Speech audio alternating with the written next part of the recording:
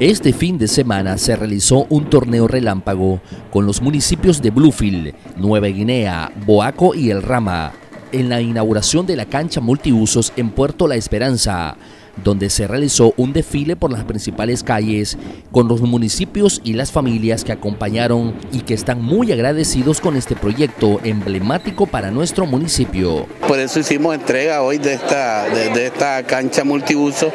eh, de este polideportivo prácticamente en nombre de nuestro presidente, porque él quien nos ha dado la idea, el apoyo, ¿verdad? el entusiasmo de,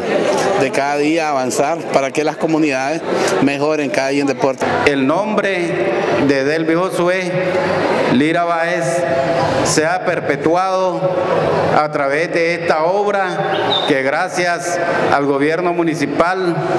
de nuestro municipio del Rama se está haciendo realidad. Gracias a, nuestro presidente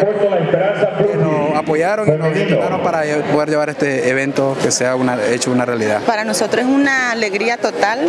porque desde hace mucho tiempo esperábamos esto de parte de las autoridades, pero bueno, ya se dio la oportunidad y gracias a Dios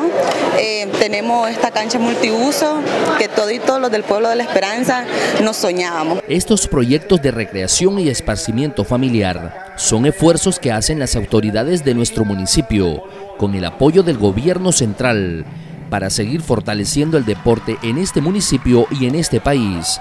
Byron Arrieta, Multinoticias.